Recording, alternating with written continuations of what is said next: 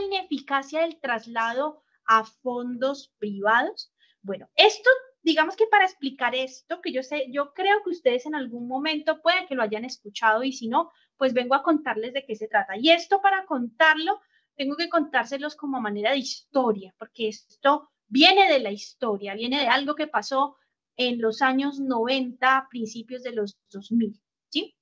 Resulta que eh, antes de la ley 100 de 1993, el sistema pensional era un poco desordenado, ¿sí? Cada entidad pública, por ejemplo, tenía una forma diferente de pensionar. Las empresas también realizaban pues sus procesos de jubilación y bueno, y habían algunas otras entidades que se encargaban de dar pensiones también. Era un poco desordenado. La ley 100 lo que hizo fue unificarlo en los dos regímenes que conocemos, que uno es el régimen privado y el otro es el régimen público.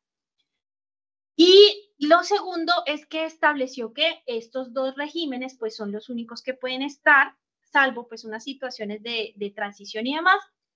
Y entonces le dio el nacimiento al régimen de ahorro individual con solidaridad y allí entonces nacieron los fondos de pensiones. ¿Sí? Entonces, ¿qué pasa? Que como los fondos de pensiones surgieron en los, porque acuérdense que la ley 100 es de 1993, a partir de 1994, pues los fondos de pensiones empezaron a operar. Muchas personas, muchos asesores de los fondos privados, en su afán de conseguir nuevos afiliados, porque es que ellos tenían que, eh, bueno, hay algo que no, que no les mencioné y es que a pesar de que existía pues todo este, se puede decir un poco de desorden antes de la ley 100, existía el Instituto de Seguros Sociales, que era el que se encargaba de la administración del sistema pensional, digamos, para un grupo específico de personas que decidían pues cotizar a través del Instituto de Seguros Sociales, ¿sí? Ese existía desde hace muchos años. Pero cuando llegó la ley 100, entonces se crearon los fondos privados y quedó el fondo público que en su momento era el IS, el Instituto de Seguros Sociales. Resulta que ¿qué hicieron los fondos privados? Buscaron nuevas afiliaciones y las nuevas afiliaciones implicaban pues buscar las personas que estaban en el IS que se trasladaran precisamente al fondo privado. Y ahí es donde empezó el problema, porque ese traslado que empezaron a hacer estas personas los hicieron sin dar una debida información clara, cierta, veraz a las personas, ¿sí? A muchos les decían, por ejemplo, que su pensión iba a ser más alta en el privado, a muchas les decían que era que el sistema público se iba a acabar, muchos se vieron tentados, digamos que por, por los regalos que alguna vez daban, que lapiceros, que, calendarios, que agendas, ¿sí? Porque no había una conciencia de como tal de lo que se estaba haciendo, una información real sobre ese traslado que estaban haciendo las personas. Entonces muchas personas se trasladaron a LIS con la ilusión de que, perdón, se trasladaron los fondos privados con la ilusión de que pues estaban realizando algo que les iba a ayudar. El problema fue que 10, 15, 20 años después, cuando muchos de ellos ya empezaron a solicitar la pensión, se dieron cuenta que las condiciones o las situaciones que les habían narrado no eran tan ciertas, ¿sí? Pero resulta que cuando ellos ya se querían trasladar, ¿sí? estaban en el privado, se dieron cuenta que les pudo haber ido mejor si se hubieran quedado en el fondo público, ¿sí? Se dan cuenta de esta situación, entonces ellos mm, quieren regresar al fondo público, pero el problema es que muchos de ellos ya no cumplían con las condiciones para uno poder hacer el traslado, es decir, les faltaban más de cinco, perdón, llevaban, sí, listo, cinco años en el régimen, pero ya les faltaban menos de, de diez años, o sea, no se podían trasladar. Entonces, ¿qué pasó? Que la Corte Suprema de Justicia en el 2008 identificó esta situación y se dio cuenta que esos traslados que lo ha dicho la Corte, pues en algunas sentencias, en muchas sentencias, porque hay muchas sentencias sobre esto, eh, habla de los traslados que se realizaron entre 1994 y el 2009. Entonces, en el 2008 se estudió una demanda de una persona respecto, pues, precisamente a este tema del traslado y demás.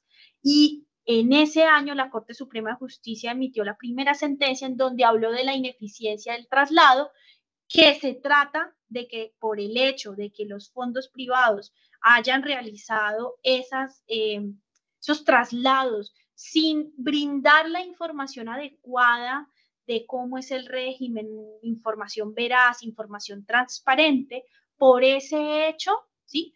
Debe declararse ineficaz ese traslado. ¿Por qué? Porque este, eh, eh, este traslado se ve afectado por algo tan fundamental como es la información adecuada y más cuando estamos hablando de las pensiones, que las pensiones hacen parte de eso fundamental de una persona de su futuro. Entonces, finalmente en el 2008 la Corte habló por primera vez de ineficiencia del traslado, declaró ineficaz el traslado que, que, hicieron las personas por allá en el noventa y tantos del, del, instituto del IS a un público, a un privado, perdón, declaraba ineficaz, entonces la persona volvía al fondo público y se pensiona con eso. De eso se trata la ineficacia, ¿sí?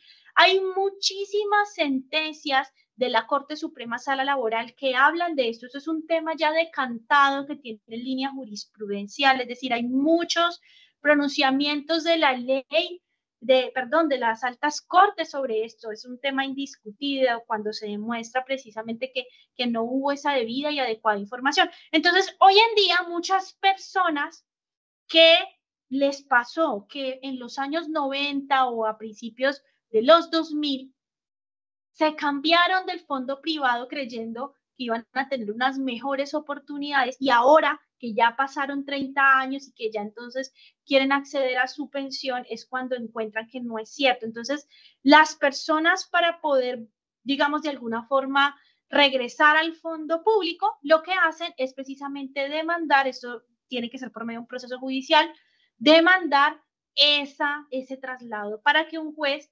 puntualmente declare esa ineficiencia o ineficacia, ¿sí?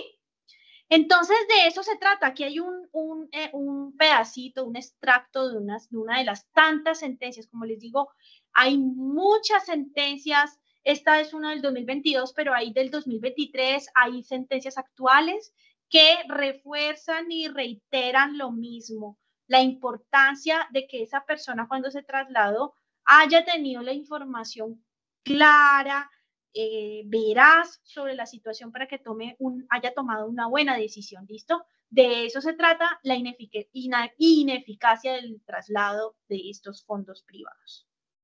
Disfruta de nuestra programación semanal. Suscríbete a nuestro canal, actualícese video